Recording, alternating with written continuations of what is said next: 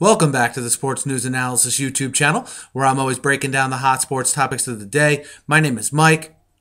Well, if you listen to this channel, you know this morning I updated you on the Elvis Dumervil situation, saying that he would choose in the coming days between two teams, the Baltimore Ravens and the Denver Broncos. Well, it looks like he's made his choice, and Elvis Dumervil will become a member of the Baltimore Ravens. Uh, the deal is supposed to be for five years, although the figures were not disclosed, but it is to be a five year deal. Uh, the Ravens get a pass rusher uh, to go opposite Terrell Suggs. Uh, you know they would look. They're they're going to look for him obviously to play that role uh, that Paul Kruger played last year. And you know, given the uh, the years that they gave Dumervil, and I'm certain with the money they gave Dumervil, they're probably expecting his production to be at very least equal to what Kruger gave them last year. I think when you certainly talk about pass rushers in the NFL, you know, Dumervil's more of a proven commodity than Kruger, uh, while Kruger's a younger guy on the rise. So um, I think that the, the, this is a good signing for the Ravens.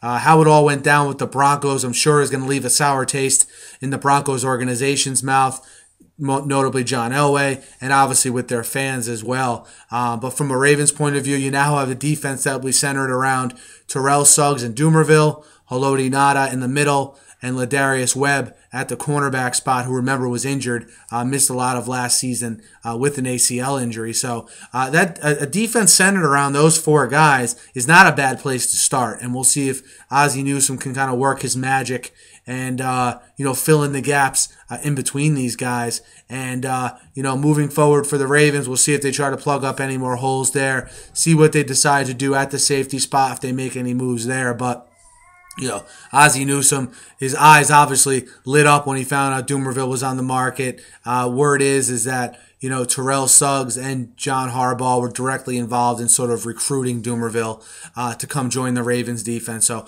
uh, the Ravens get their man. Uh, I'm going to do a video after this on what I think the move means from a Broncos standpoint. Uh, so be sure to uh, check that out as well. But the Ravens ink. Uh, Elvis Dumervil to a five-year deal. They said expect the deal to become official on Monday or Tuesday uh, as well. But be sure to subscribe to my channel here, guys.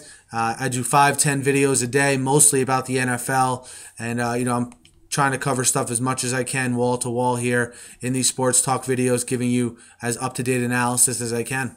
So be sure to subscribe. Thanks again for listening, and have a great night.